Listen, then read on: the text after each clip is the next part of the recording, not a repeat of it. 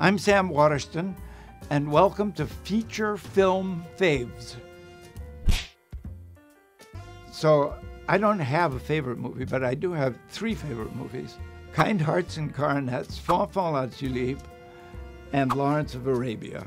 They are my favorites because there were three performances that I would have loved to have given myself. One is Kind Hearts and Coronets, Alec Guinness, Fanfan la Tulipe, Gerard Philipe, and Lawrence of Arabia, Peter O'Toole.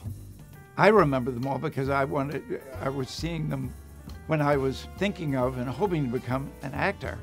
Kind Hearts and Coronets, Alec Guinness decides to murder all of his relatives so that he can inherit the estate, and all of his relatives are played by him.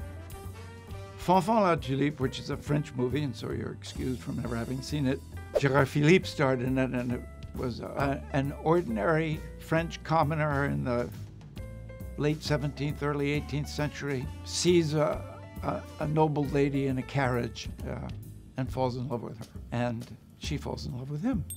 It's a absolutely standard romantic comedy period piece that is made unforgettable by Gerard Philipe's performance.